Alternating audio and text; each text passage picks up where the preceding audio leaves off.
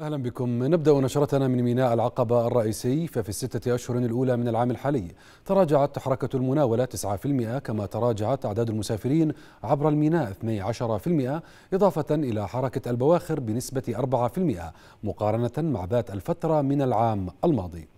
حجم المناولة منذ بداية العام الحالي ولنهاية شهر حزيران سجل سبعة ملايين وستمائة ألف طن مقابل ثمانية ملايين وثلاثمائة ألف طن في ذات الفترة من العام الماضي.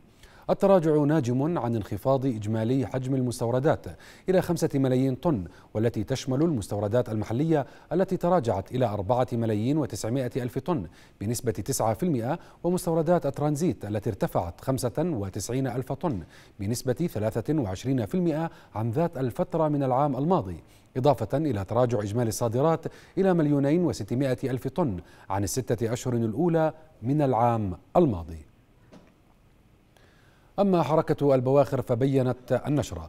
انخفاضها إلى 1120 باخرة من 1166 باخرة في ذات الفترة من العام الماضي وبنسبة 4% في حين تراجعت حركة المسافرين 12% لتصل في أول ستة أشهر الأولى من العام الحالي إلى 191 ألف مسافر مقابل 217 ألفا و200 مسافر في ذات الفترة من العام الماضي. تلقى وزير العمل دعوة رسمية من الحكومة القطرية لبحث الآليات المرتبطة بالوظائف التي تعهدت بها قطر. وتعهدت قطر في حزيران الماضي بتوفير عشرة آلاف فرصة عمل بالدوحة لأردنيين وضخ استثمارات في الأردن بقيمة 500 مليون دولار لمساعدة المملكة في التخفيف من الظروف الاقتصادية التي تمر بها. وزير العمل تلقى الدعوة خلال استقباله القائمة بأعمال السفارة القطرية في عمان بحضور القنصل القطري حيث من المقرر أن يتوجه الوزير إلى قطر الأسبوع المقبل لبحث ملف تشغيل الأردنيين بحسب ما أعلن رئيس الوزراء عمر الرزاز خلال لقائه كتلة الإصلاح النيابية.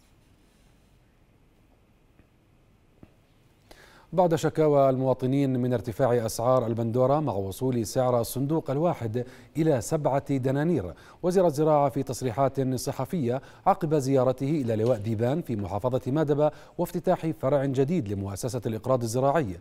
برر سبب ارتفاع أسعار البندورة إلى التغيرات التي طرأت على الطقس وموجات الحر التي تسببت في انخفاض الأزهار وتراجع كميات الإنتاج إضافة إلى انتقال تبادل عروات الإنتاج. وتوقع أن تبدأ الأسعار بالانخفاض اعتبارا من مطلع الأسبوع القادم.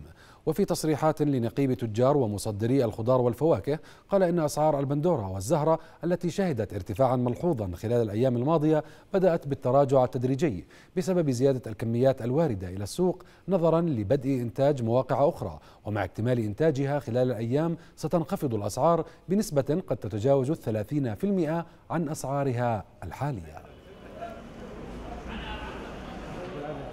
الحديث حول ارتفاع بعض المنتجات الزراعية البندورة. هذه الأيام حقيقة مرتبط بالعروة الزراعية ونحن الآن في فترة انتقالية ما بين الأغوار إلى منطقة الشفا والصحراء.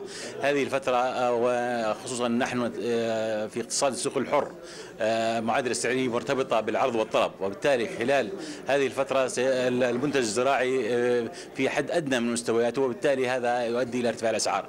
أعتقد خلال الفترة القادمة من أسبوع إلى أيام تعود الأسعار إلى ما كانت عليه. جولتنا اليوم آه، في آه، لواء ذيبان حقيقة لافتتاح فرع آه، صندوق الاقراض الزراعي وهذا فرع مهم جدا خصوصا وأن لواء ذيبان لواء زراعي بامتياز.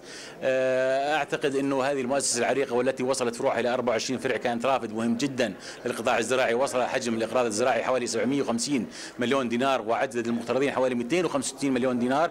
وهي العون والمس... تقدم اليد العون والمساعدة للمزارعين على مدار 60 عام تقريبا من الخدمة.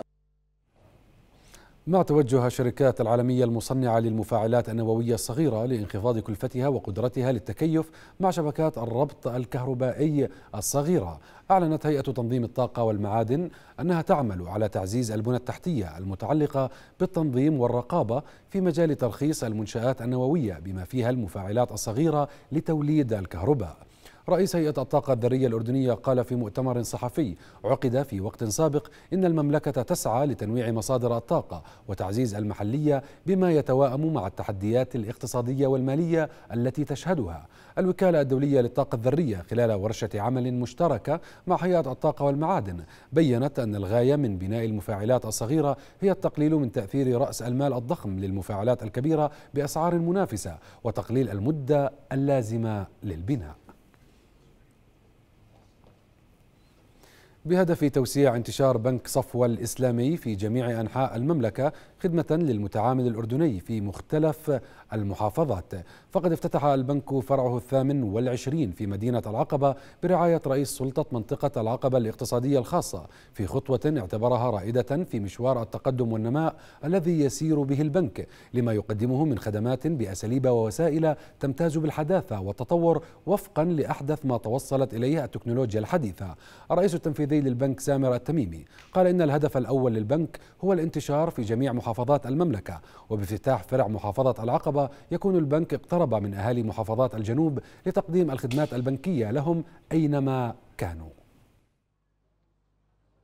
توقيت هذا الافتتاح توقيت مميز هو خطوة إيجابية من البنك للدخول في توفير خدمات مصرفية إضافية آه، في المنطقة الاقتصادية الخاصة. وأيضا هي آه، رسالة ثقة في نموذج منطقة العقبة الاقتصادية الخاصة كحاضر وكمستقبل.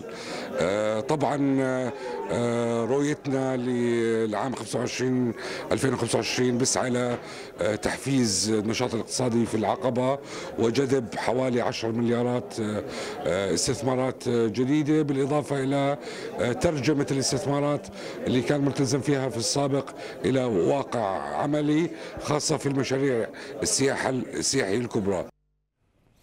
ارتفع خام برنت أكثر من دولار اليوم بعد أن انخفض بنسبة 7% تقريبا في الجلسة السابقة. وعوض النفط جزاء من أكبر خسائر حققها ليوم واحد في عامين. إثر إعلان ليبيا أنها تستأنف صادرات النفط وتنامي, وتنامي التوترات التجارية بين الولايات المتحدة والصين الأمر الذي يثير المخاوف بشأن الطلب. واليوم ارتفع خام برنت دولارا وثلاثة, وثلاثة وعشرين سنتا ليصل إلى أربعة وسبعين دولارا وثلاثة وستين سنتا للبرميل.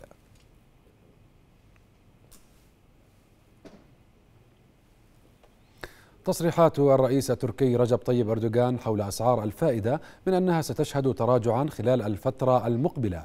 أدت إلى تراجع الليرة التركية إلى مستوى قياسي مقابل الدولار في المعاملات الآسيوية قبل أن تقلص خسائرها في جلسة اليوم حيث خسرت الليرة نحو 22% من قيمتها مقابل الدولار منذ بداية العام الحالي. ويخشى المستثمرون من تأثير الرئيس التركي على السياسة النقدية ودعواته المتكررة لخفض أسعار الفائدة حيث من المقرر أن تجتمع لجنة السياسة النقدية في البنك المركزي في الرابع والعشرين من هذا الشهر.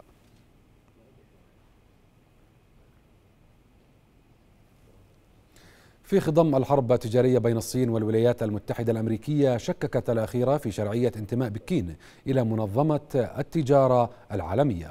وخلال اجتماع مغلق تعقده لمنظمة التجارة العالمية في جنيف على مدى ثلاثة أيام لبحث السياسات التجارية للصين. اعتبر السفير الأمريكي لدى المنظمة أن الصين تستفيد من وضعها كعضو في منظمة التجارة العالمية للإضرار ببقية الدول معتبرا أنه في حال لم يؤخذ سلوك بكين هذا في الاعتبار فستنتهي الأمور إلى تخريب المنظمة.